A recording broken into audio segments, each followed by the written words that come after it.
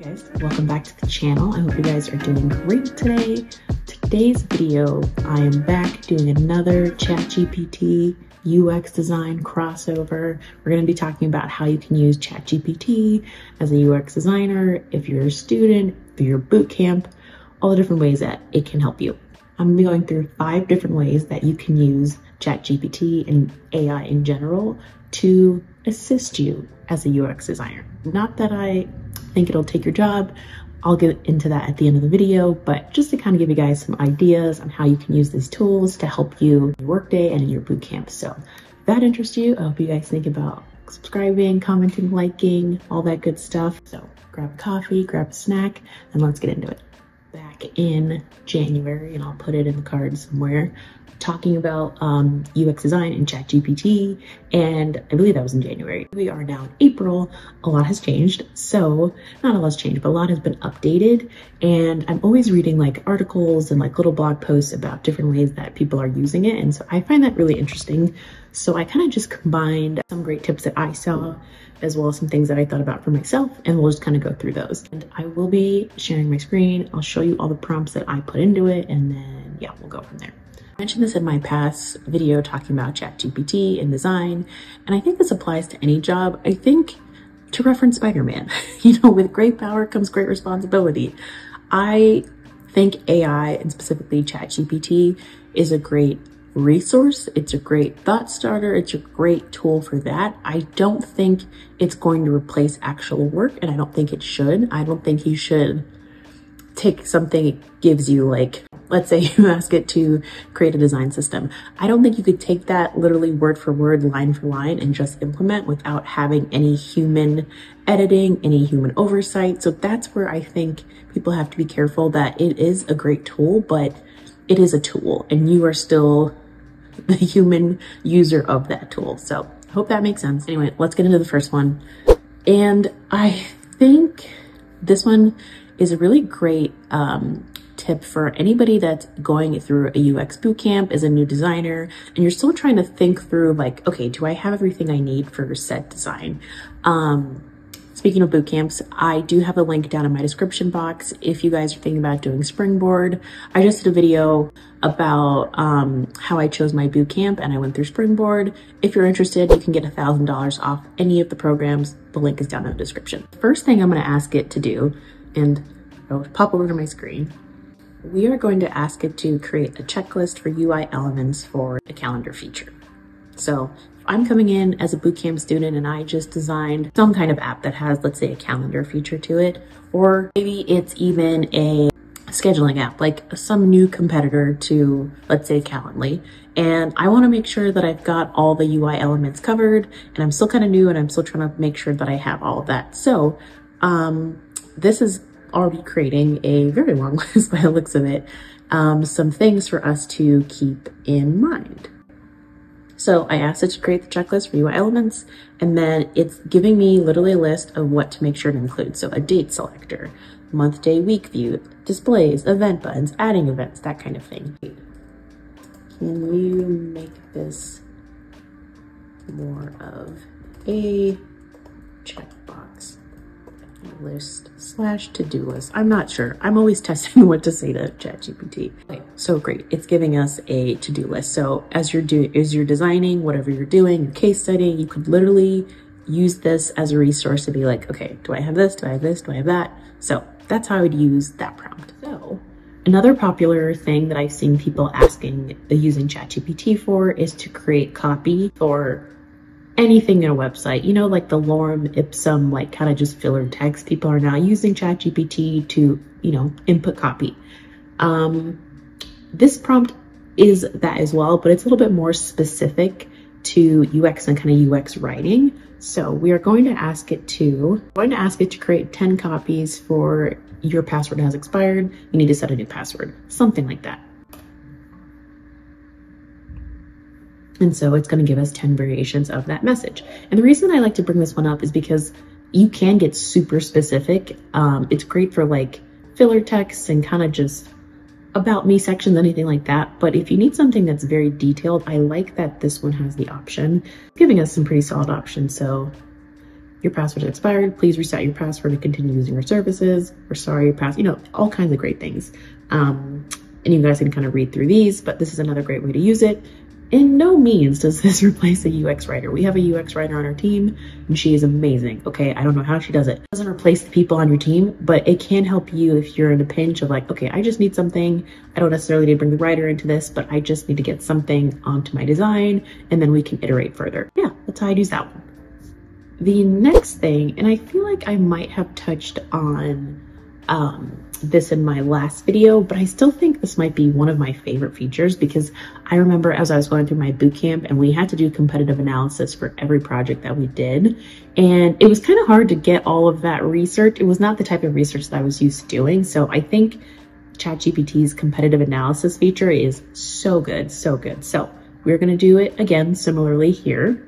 We're going to say, who are Nike's biggest competitors?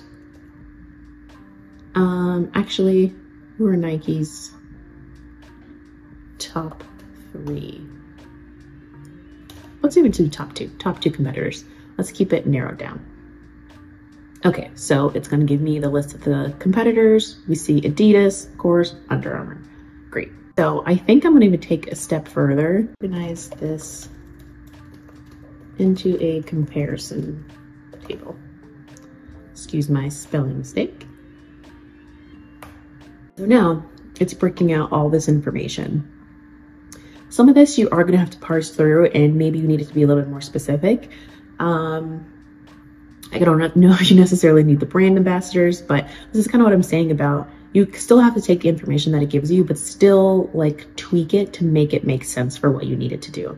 So, and it's nice that there you have like the table feature because it just, it looks good to my visual eye. Um, yeah, so that is how I would handle that prompt. To kind of piggyback off of that competitive analysis, another great way that you can use it is if you are, let's say in this example, we are creating a new podcast app. So there's tons of, are there tons of podcast apps? I don't know. I'm thinking of like Patreon, Spotify, technically.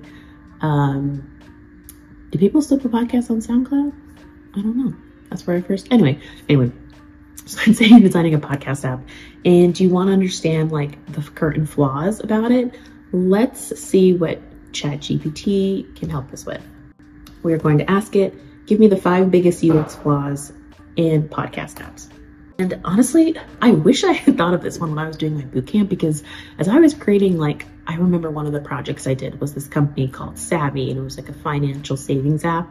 And I had competitors like Mint and Truebill, which is no longer a thing, now Rocket Money. And this would have been great to kind of figure out like, okay, these are the flaws. Let me see if I can create something that addresses these problems. So it's giving us here, okay, confusing navigation, lack of personalized recommendations, poor search functionality. That's a huge one. Bad search kills it every time. Um, limited playback options. Oh, speed, intros. Oh, okay, that's interesting and then inconsistent UI. Okay, see, there's stuff that I didn't even know about. And maybe as you are thinking about something in your bootcamp or in your current job, um, trying to understand the flaws, maybe you can make sure you address these problems before they even become problems. So this one's really cool actually. So the more you know, guys, the more you know, look at us learning together. The other thing, the other prompt I want to put in here more relates to the visual design. And I think this, this prompt could be great if you are just kind of fact finding and in the discovery phase of what am I trying to create and why, and just need some kind of thought starters. This one is going to be relating more to color, which I love.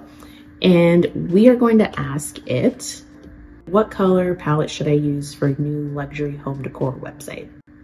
We'll say, give me the hex codes.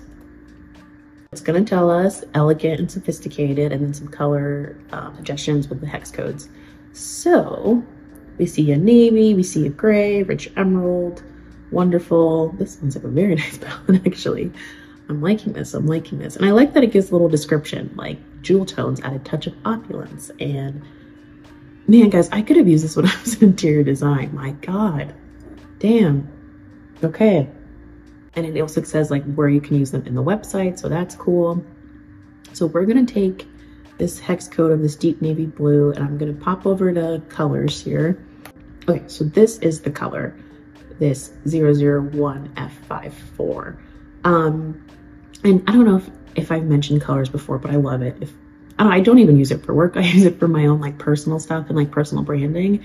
Um, and I just love that it creates such composed color palettes. I don't even think about it, but I just wanted to see what the hex code was. Like, let's do this rich emerald color. I don't know if it'll let me do both, but okay.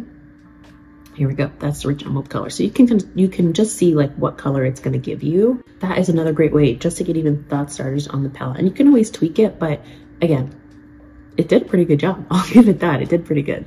Before we wrap up, I did just want to mention, um, and I touched on it earlier at the start of the video, of just about ChatGPT and AI in general and taking over jobs. I don't feel, and watch, I put this on the internet and then two years later, AI has taken over, but I do not feel that it's going to take over my job as a UX designer specifically because UX design has such a human element in the roots of what it is as a profession.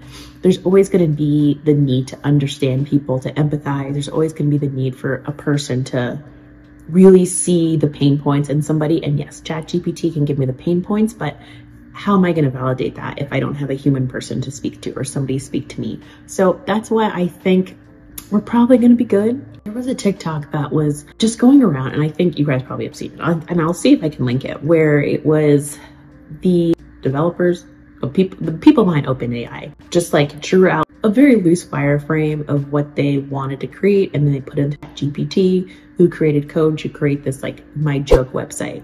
And when I saw that, I was like, I'm good. I'm not taking, I, I'm good. There's still going to be need for designers because there's so much that technology can't interpret that I feel like designers still can. So that's just my little personal take on it. I think every industry could be a little bit different. Do I think some industries, yeah, could maybe be obsolete? I don't want to say obsolete, guys. I don't know. I just feel like there's there's has to be a balance. I don't think we could necessarily 100% say, okay, chat GPT, this industry is done. I don't feel like it'll be like that, but who knows? Who knows, guys? Um, just my thoughts. And like I mentioned, use these tools responsibly, okay? If you're thinking about boot camps and want to use ChatGPT in your boot camp, I highly recommend Springboard. The link is down in my description box to get $1,000 off any of the programs, so check it out yeah guys i've rambled enough. Thank you guys for watching this video. I hope you guys like this kind of content. I try to intersperse obviously like ux and tech and work stuff with you know some other lifestyle stuff. So if you guys like this video i hope thinking about commenting subscribing liking all those good things. Drop me any questions down below. And with that guys i will see you in the next one